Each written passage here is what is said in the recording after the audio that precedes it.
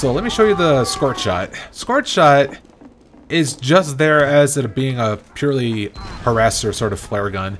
Because it pretty much does the same thing like Detonator, having some sort of like splash damage. However, you don't have to right-click to detonate it. Well, you don't have a right-click option to begin with anyway. Because upon impact, whether on a on a player or on the ground, it does uh, fire splash.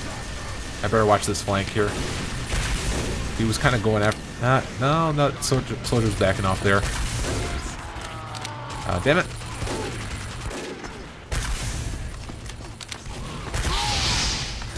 Wee!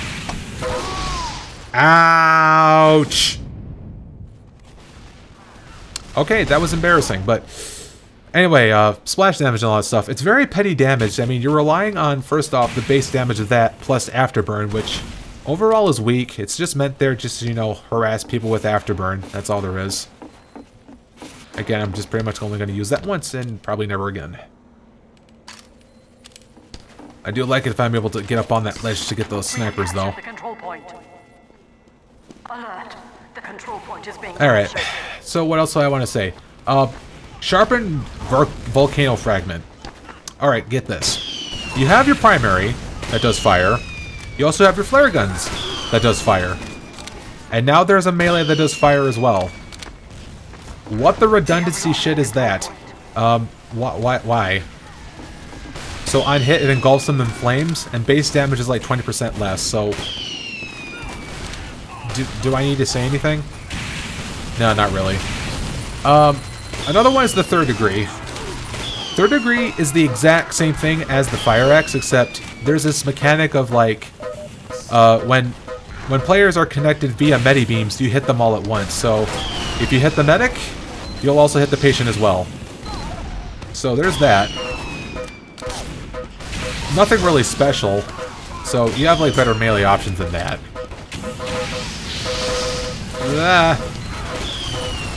And now he's rolling with the shotgun. In that case, he's probably going to kick my ass.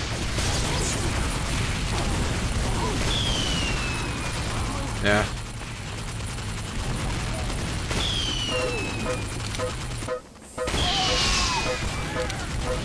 Hey, teleporter, let me get rid of that. At least before I die. And then last we got the Neon Annihilator, which if you like to be a Pyro Shark, to quote Jerma, then you can do that. I mean, that, that Neon Annihilator weapon is just like such a gimmick weapon that it makes me want to pee. But, but yeah, um, it very situational weapon where it really all depends on the map if there's any kind of reliable, like, water spots. There. Jeez, dang soldier for being a pest. And yet I'm the one that's supposed to be a pest. So yeah, it depends on like if the players is wet. Because if they're wet, then they get full crit.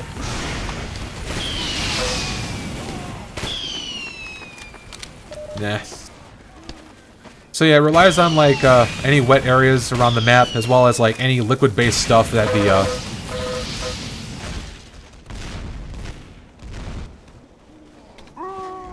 I feel guilty for doing that. Um, so yeah, other liquid-based weapons that can count for like wet as well. If they're like drenched in Jarate or Mad Milk, that counts. But again, it's situational. Don't don't don't, don't go for that. Um, honestly, I don't know if there's like anything else to cover. Uh, I suppose we can, uh, oh, actually, there is, there is one other weapon loadout that I can show you guys. Um, we'll just have to wait until, like, uh, the thing starts up again.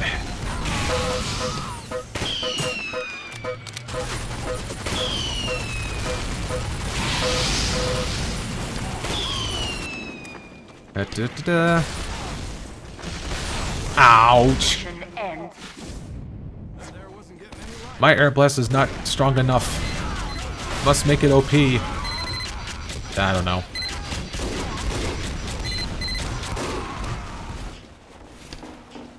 Ah, I'm noticing that sniper's like going like all crazy up in the front there. When normally snipers shouldn't really be at the front as, as often. Power class, yeah, he, yes he is.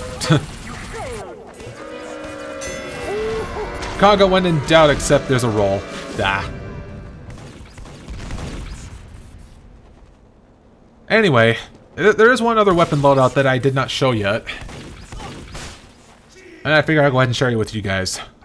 You know what, we might as well make this fun, okay? Yay! Fun time!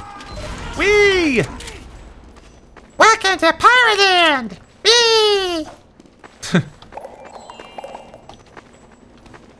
Here's what we have. Rainbows, lollipop, people are laughing, candy-colored land, and I'm gonna stop doing that voice because it's probably scaring every last bit one of you. Alright, so, uh, here's a cosmetic thing that came out during the Meet the Pyro shenanigans, Pyromania as it calls. Uh, here's the Rainblower. Same exact thing as the Flamethrower. It just has the cosmetic of, you know, like shooting rainbows and all that good stuff.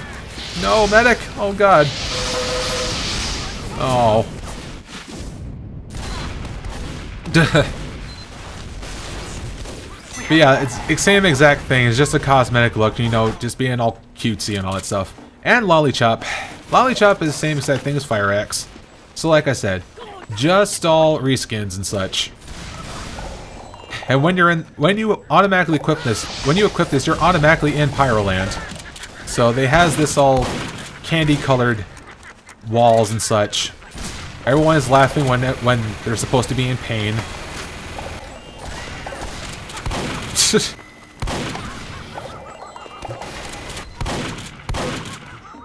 and whenever like players like gib and stuff, they don't turn into like, you know, like body parts. They turn into like gears and like toys and like balloons and all that cutesy stuff. It's probably gonna make you vomit, doesn't it? Seeing like all this crazy stuff. Uh, damn it. Oh, he was at 80 health. He outmaneuvered me, oh god. What? Sniper up there. Look at him, gonna have a jolly old time with that flog. Yay!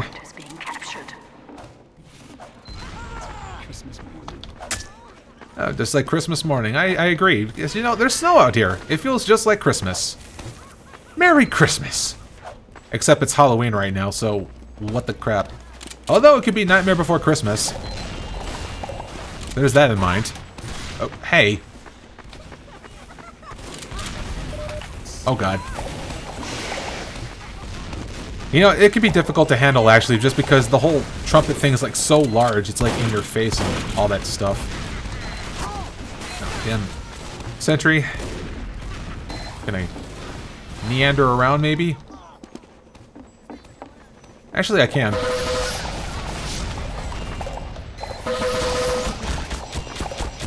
Well, at least there's that. At least I made friends with the snipers. yeah. They change it from, like, if you're, like, you're dominating someone, you're making best friends with somebody. And I think if there's a revenge, then I think you made an enemy or something. Some weird stuff like that. Alright, time for classes versus classes. So, against the Scout, the Scout is probably going to play smart and try to stay out of your flames, because he does have the option to pick any engagement range. Because he can go easily within and out of range due to his speed. And he'll just peck you apart so easily. That is, unless, however, if they do catch uh, flames like that, like I said, if you remember about Afterburn, it can whittle him down to half health easily, because, you know, he's a light class after all.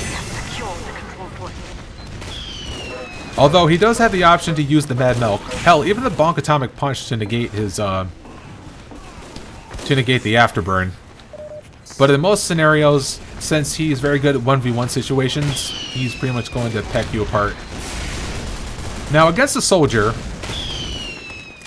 he has, like, rockets and shotguns, so since since they have, since they shoot rockets, you're easy to reflect it, just like in that scenario. Since it was long range enough, I was able to take care of that quite nicely. Thought I heard a stab noise. I do hear Ambassador. Hang on, I got gotcha. You. Ah, fuck! You know, I better taken that bullet for the spy there and gotten away. Because after all, he does have that unusual hat. He's the most precious of all the players around here. We have lost the control point. So Soldier will sometimes have the advantage if he's at medium range uh, with use of his rockets, or, or especially his shotgun if he chose if he chose to. Um, if he has like he ha if he mainly has like higher ground and all that such. Pretty much the closer he is, the more harder it is in order to try to reflect his rockets.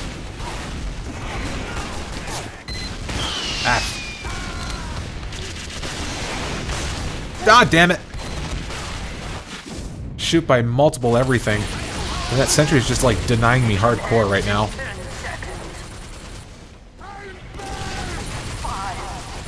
Uh, it makes me sad that there's like no medic right now. Well, nothing to do but...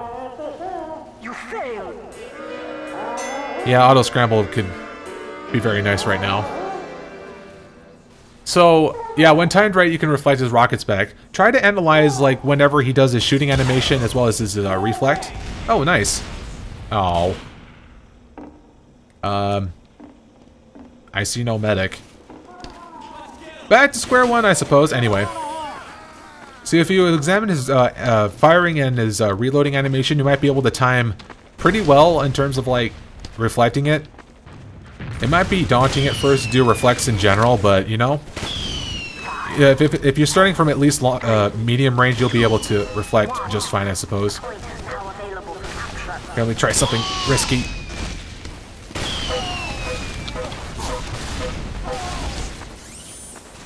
Huh, there was something. Uh, dispenser? Do you have a dispenser? No, you do not, sir. I'm not gonna get to that get to that sentry there.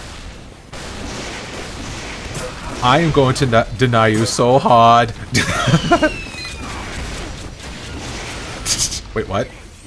It's not supposed to go over to this pallet game. Come on. Oh, jeez. Hang on, can I have some of this, please? I would like some of this, please. But yeah, in most scenario, if yeah, Soldier will switch his shotgun if rockets aren't going to work out. Uh, now, against another Pyro, this is rather odd. I mean, like, again, in most, like, going up against the same class as you is, like, you know, it all comes down to, like, you know, better aim and all that stuff. Pyro is, like, weird, and again, like, it's all about, like, out trying to outmaneuver him or, like, uh, somehow outdamage him or something like that. However, there is one tactic that it can help when going up against these encounters. Try actually doing S mouse one instead of W mouse one. Let me jump out of the sniper's view here. I'm gonna go ahead and sneak around this way. If uh, if I don't see a sentry around here, what?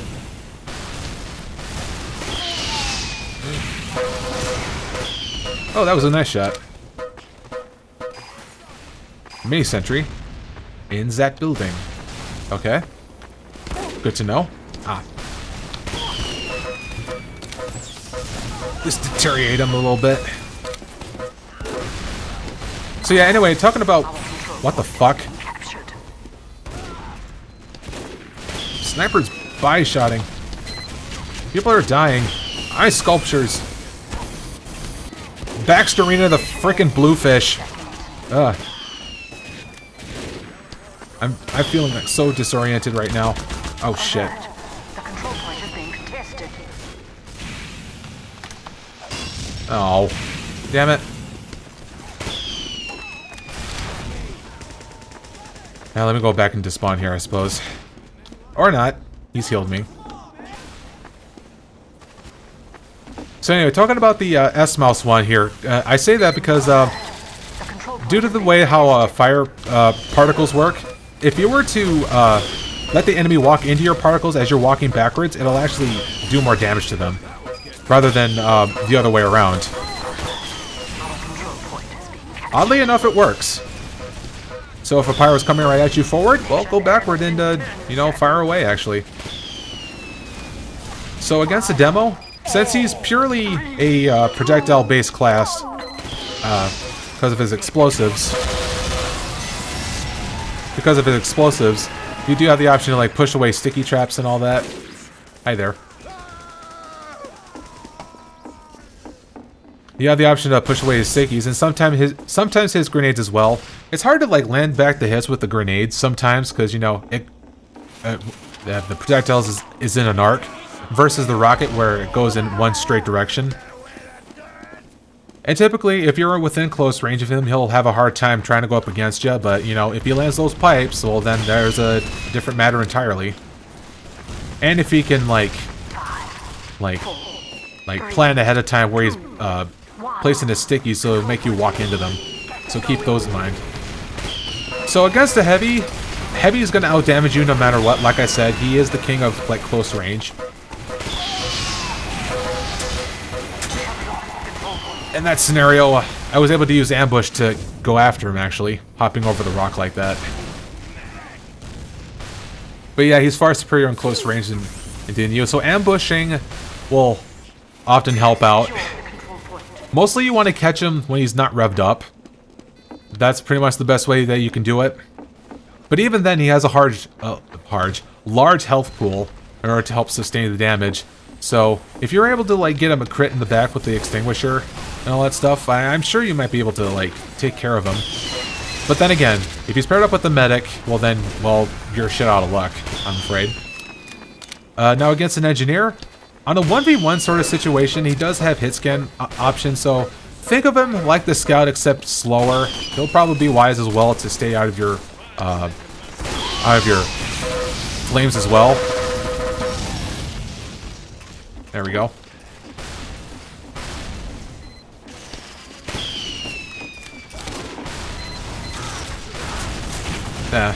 Hmm. But in terms of the sentry, yeah, you'll feel very much the same way like a scout. You're going to get pinned down and there's nothing you can do about it. So, like, what can you do about the sentry? Like, I mean, the very most that you can probably do is uh, try to reflect the sentry's rockets and aim it back at either the sentry or the Engi itself.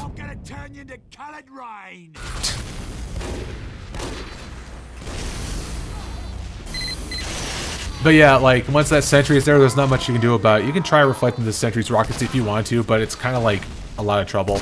Although, uh, uh, you know what? Bring this out. Oh wait, he's for some reason using that. Oh, well, yeah, at least he's, like doing it like to help out. Okay, I was gonna say like, I would have used home wrecker because that would have been a one-hit thing. And there's an awful lot of spy, uh, not spies, snipers on their team. So I need to try to like really maneuver about and try and do this. Whoops.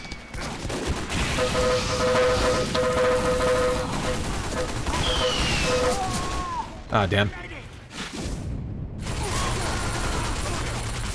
Yeah, I took too much damage overall anyway. Anyway, like I was saying, that uh, you do have at least the ability to actually uh, Actually, in regards to engineers' buildings, your your flames actually penetrate through the building. So if you were to actually get paired up uh, with uh, uh, getting Ubered and such, uh, you getting Ubered is not actually a bad idea because you'll be able to hit the engineer and the buildings at the same time when you're doing so. So there's that.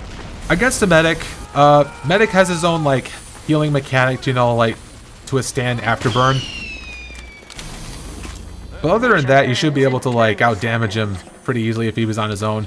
But when he's with the rest of his team, yeah, he'll most often be surrounded by teammates, so pick him, trying to pick him off is not, uh, not gonna be all that easy.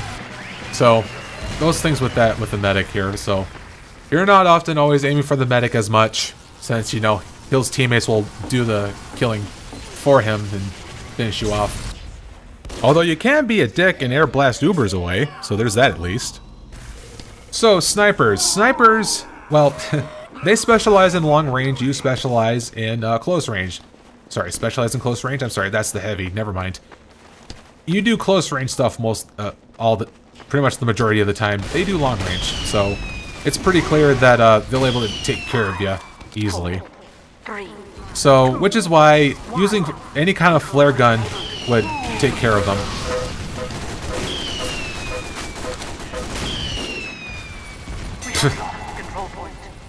Fun times. So yeah, try to use like your flare gun as a way of like harassing them. Uh, I don't know why I went around like that.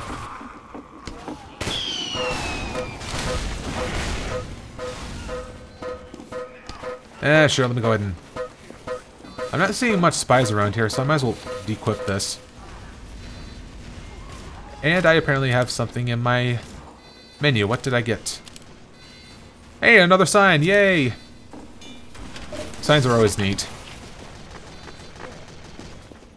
And of course, let's talk about spies. You are definitely the pretty much the one class that can counter spies pretty easily. Now, to be fair, other classes have their own mechanics of revealing spies, but you, you with your flames have that very readily available to uh, take care of spies, since they can't, since they're since their uh, cloak and disguise gets easily canceled out.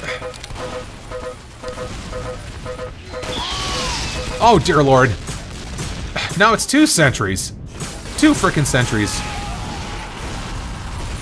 Oh my god.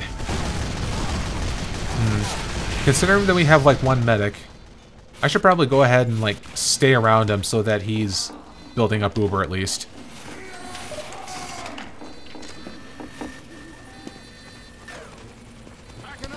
So yeah, you'll be able to easily counter him so easily, but although he'll he will try to use his revolver to gun you down, especially if he wants to stay safe and use range, he'll have the ambassador to take you out safely.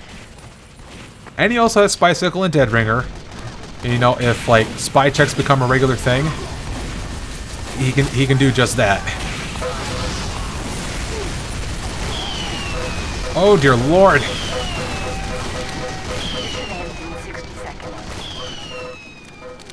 And it looks like we're gonna get pushed back into spawn and the one time I switch away from the home wrecker that happens. Even then the engineer should have been building back there. Mini sentry setup would have worked more better. Hang on, let me attempt to, like, do something weird. Oh, Jesus. Uh, okay. Hmm. This is going to be very schmaltzy, but... I, I, I don't even know.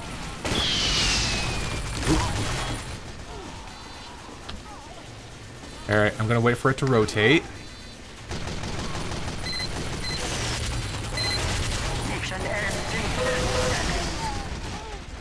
Oh, okay, the demo man got it. I was gonna say.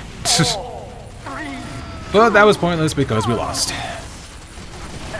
Yeah, nothing else to say about Spy. That's all classes versus classes stuff. Yeah, so much for that.